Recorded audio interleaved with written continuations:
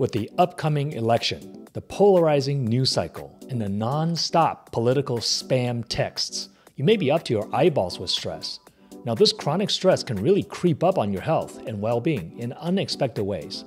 In this video, you learn how chronic stress causes leaky gut, brain inflammation, cravings, and autoimmune.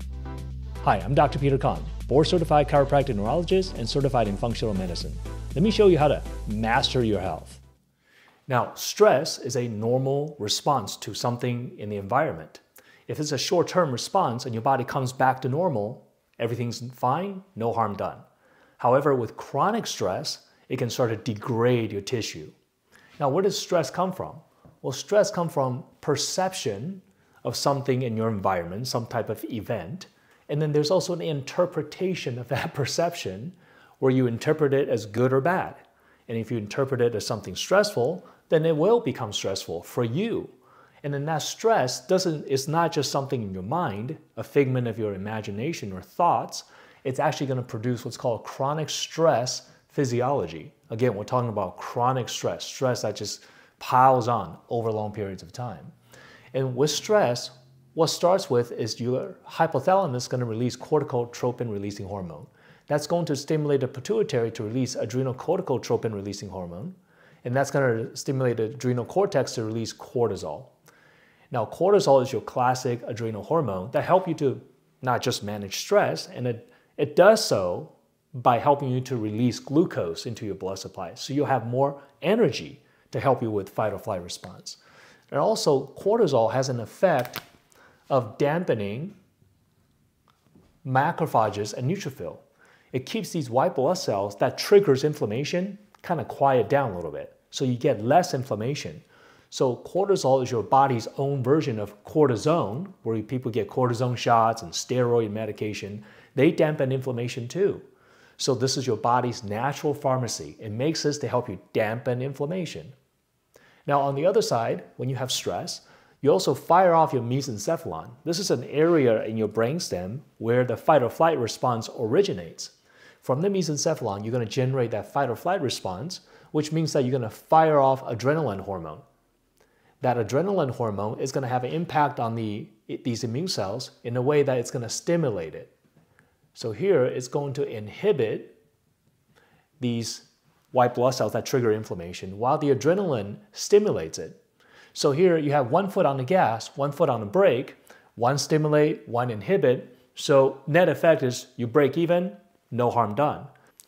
But what happens is with chronic stress, you're going to secrete a lot of cortisol. And when you have excess cortisol circulating in your system, it started to create a situation where you have cortisol resistance.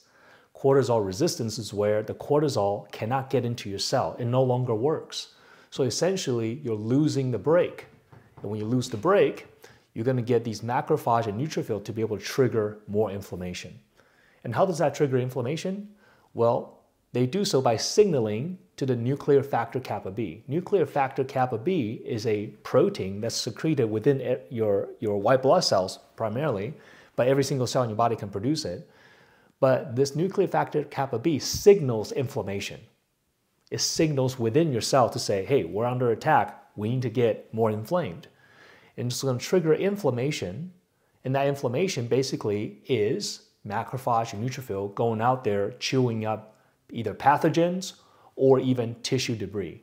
The process of inflammation creates tissue debris, where you have dead pathogens and your tissue being chewed up, all just floating around. That tissue debris is going to promote a Th2 dominance. T helper 2 immune cells are the immune cells that are responsible for helping you to clear off tissue debris. There are also the immune cells that are responsible for allergies and asthma.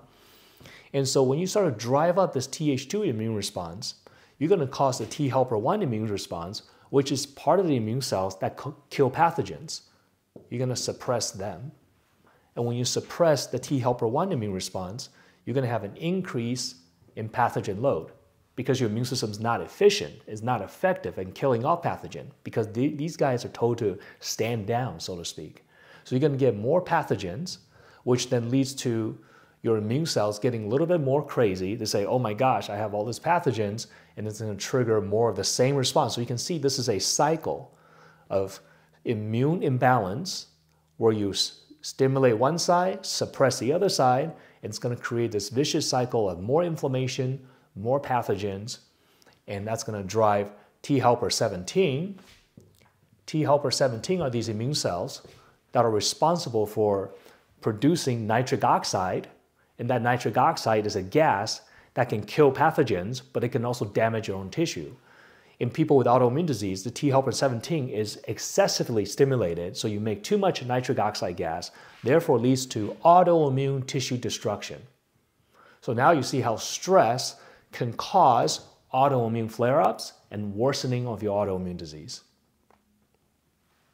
Now here we also see, picked up from earlier, that stress causes your mesencephalon, your midbrain, to fire off the fight or flight response. That fight or flight response is a sympathetic nervous system response.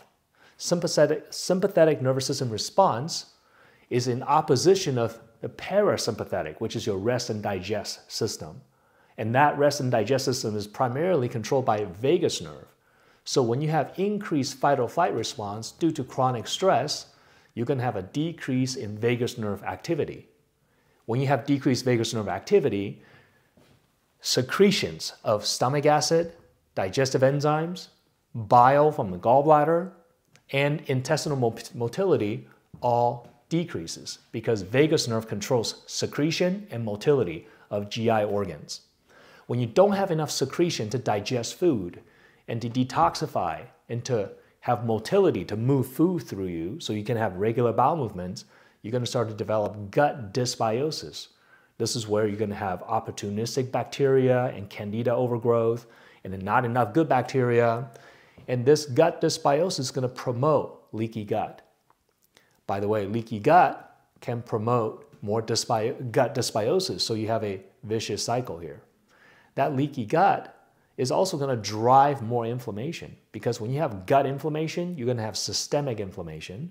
So that's going to drive inflammation, and inflammation itself can drive leaky gut. So we have another cycle here where leaky gut can cause more autoimmune tissue destruction. That leaky gut, due to the intestinal permeability, is going to allow, allow that food protein, dietary protein that's not completely broke down yet, to leak through the leaky gut, therefore allowing your immune system to develop reaction to these food that's leaking out of the leaky gut.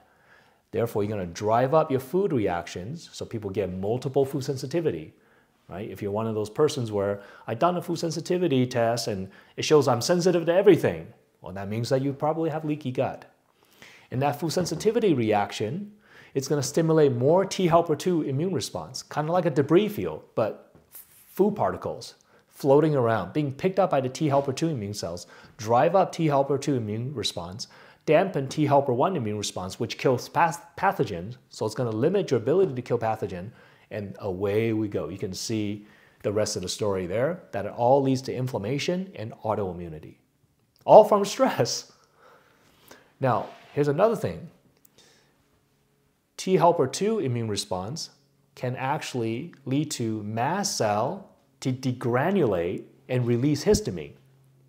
Mast cell is a, is a T, type of Th2 immune cell. So when you have increased T helper 2 response, your mast cells are going to release its mediators, such as histamine, more readily. So now you're going to have high histamine. Now the problem is that high histamine is going to drive more fight or flight response. Your mesencephalon, your brain is sensitive to this histamine molecule, and histamine is going to drive more fight or flight and more stress. In addition, the high histamine is also going to drive neuroinflammation. It's going to cause your brain to be inflamed. And when your brain's inflamed, you're going to get brain fog, you're going to get short term memory loss, you're going to get depression. So you get depression in order for you, you want to feel better, so you get cravings. A lot of people emotionally eat. They eat emotionally, use food as a drug to make them feel better. So what do you crave? Typically, you crave high histamine foods. What are those high histamine foods? Chocolate, wine, and cheese.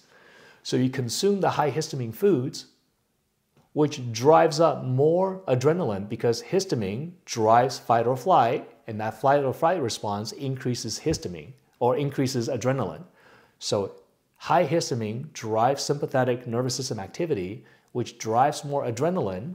So you get more adrenaline rush from eating the high histamine food, which makes you feel energized because adrenaline is a hormone that releases glucose into your system. It gives you more energy. This is why people drink caffeine. It's a stimulant that stimulates adrenals. So histamine can do that too. So now you get energized, so you associate feeling better with eating these histamine foods like chocolate and junk food. And then so then that creates more cravings. So now people will say, oh, I have a weak willpower. No, you don't. You have a chemical imbalance that's driven by stress that drives these inflammatory pathways and that literally causes an immune system imbalance that drives up histamine and that histamine is driving this neurological issue. So this is how stress can cause leaky gut, brain inflammation and depression and cravings and lead to autoimmune tissue destruction and flare-ups. I hope this helps you understand how stress impacts your entire body. Please let me know in the comments what's the one thing that you learned that was new to you. Now if you found value in this video, please give this video a thumbs up and consider sharing it with those who need to hear this message. Please subscribe to my channel to get more tips to master your health. I really appreciate your support. God bless and see you in the next video.